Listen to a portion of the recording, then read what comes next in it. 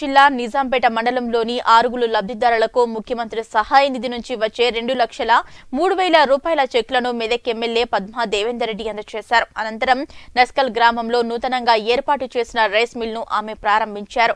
ఈ సందర్భంగా ఎమ్మెల్యే పద్మా దేవేందర్ రెడ్డి మాట్లాడుతూ సీఎం కేసీఆర్ ఆధ్వర్యంలో రైతులు పంటల కోసం అప్పుల పాలు కావదనే ఉద్దేశంతో రైతులకు రైతు బంధు పథకం ఇవ్వటం జరిగిందన్నారు. అదేవిధంగా ఎవరైనా రైతు మరణిస్తే ఆ కుటుంబం వీధిన పడకూడదనే ఉద్దేశంతో రైతు బీమా పథకం చేయటం జరిగిందని ఆమె తెలిపారు. ఈ కార్యక్రమంలో Medak MLA Padma Devender Reddy MPP Desati Siddiramulu Medak municipal chairman Chandrapal Ramempet market committee chairman Saraf Yadagiri Nizampet mandal ఎంపీటీసీల forum అధ్యక్షులు Balareddy Nizampet MPTC Lahari Krishnareddy TRS party mandal అధ్యక్షులు సుధాకర్ రెడ్డి సర్పంచ్ల ఫోరం మండల అధ్యక్షులు అమరసేనారెడ్డి స్థానిక sarpanch Kavitha Kalvakuntla society chairman Ande Kondal Reddy cooption member Ghouse TRS నాయకులు అబ్దుల్ అజీజ్ బజార్ స్వామిగౌడ్ కొమ్మట బాబు మహమ్మద్ ముస్తఫా నాగరాజు మావురం రాజు దయాకర్ తదితరులు పాల్గొన్నారు.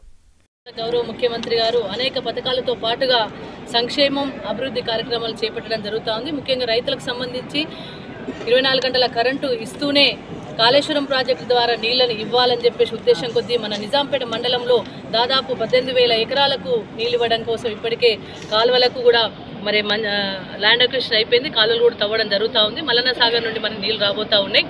అదేవిధంగా రైతు బంధు కూడా రైతుకు పెట్టుబడి కోసం అప్పుల పాలవుతున్నారు కాబట్టి రైతును ఆదుకోవాలంటే ముందు పెట్టుబడి అప్పు కాకుండా చూసుకోవాలనే ఉద్దేశం కొద్దీ రైతు బంధు కార్యక్రమాలు తీసుకొచ్చి భారతదేశంలో ఏ రాష్ట్రంలో లేనటువంటి పథకాన్ని రైతులకు ఎకరానికి ఐదు వేల చొప్పున సంవత్సరానికి రెండు సార్ల యాసంగి పంటకు వానకాలం పంటకు కూడా ఇవ్వడం జరుగుతూ ఉంది.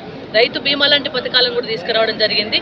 అదేవిధంగా ప్యాడీ ప్రొక్యూట్మెంట్ కేంద్రాలను కూడా ఏర్పాటు చేయడం జరుగుతుంది. తెలంగాణ రాష్ట్రం వచ్చిన తర్వాత గౌరవ ముఖ్యమంత్రి గారు మాత్రమే మరి పంటను కొనడం అనేది ప్రారంభించడం జరిగింది. రైతులకు ఓవైపు రుణాలు గంటల కరెంట్ ఇస్తూనే ఎరువులు విత్తనాలు సకాలంలో అందించి రైతు బంధు లాంటి పెట్టుబడి కార్యక్రమాన్ని చేపట్టి పంట పండిన తర్వాత కూడా మరి కొనడం అనేది తెలంగాణ రాష్ట్రంలో మాత్రమే జరుగుతుంది తప్ప ఎక్కడ కూడా జరగట్లేదు. ఎందుకంటే సెంట్రల్ గవర్నమెంట్ సహకరించకపోయినా కేంద్ర ప్రభుత్వం ఇప్పటికే మరి మార్కెట్ యార్డులను కూడా ప్రైవేటీకరణ చేసి రైతుల కరెంటు కూడా ఇబ్బంది పెట్టే క్షణం రాబోతా ఉంది. రైతులను ఇబ్బంది పెట్టే విధంగా కేంద్ర ప్రభుత్వం నిర్ణయం తీసుకున్నప్పటికీ కూడా దాన్ని తిప్పికొట్టి రైతులను ఆదుకుంటా అని చెప్పేసి ఒక దృఢ నిశ్చయంతో రైతులకు పండే పంటను కూడా కొంటున్నది కేవలం కేసీఆర్ గారు మాత్రమే.